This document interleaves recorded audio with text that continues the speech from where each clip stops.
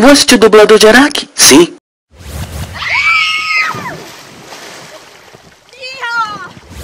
Aquela porra daquela aranha tá querendo entrar. Ih, é melhor a gente ir embora. Pode sair daqui? Não quero ver a churrasco.